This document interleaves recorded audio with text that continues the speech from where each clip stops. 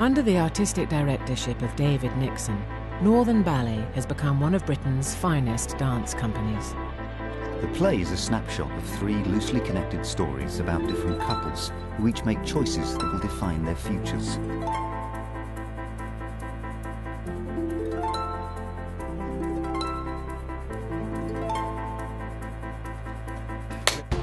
I hope you enjoy it.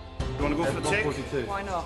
Welcome, welcome, welcome to the home of metal. Don't look at him. There's nothing you can do about it once you've thrown him. Why don't we just do a run through of the screens while Peter's playing with the lights here? My job is to make Mary think there'll never be a butterfly better than she is.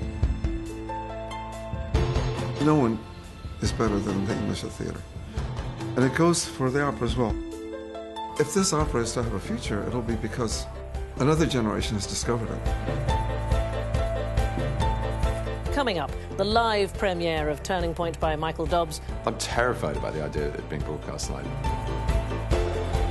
Good evening and welcome to Sky Arts Cinema.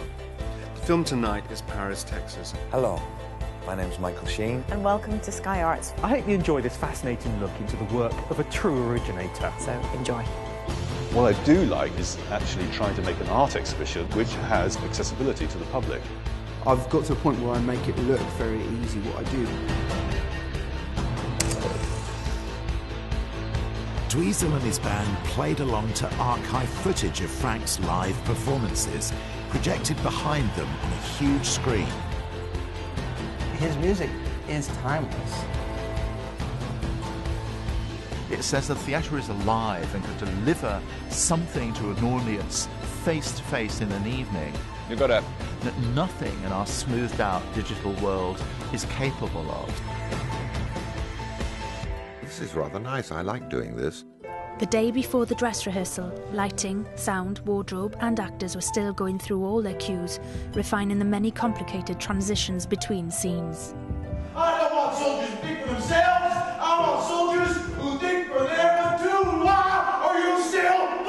Well, I have to finish it in about seven days. It's jump, ba da da dum. It's it's the extended. Remember? As soon as you step on stage, you know what you need to do, and you're you're ready to perform.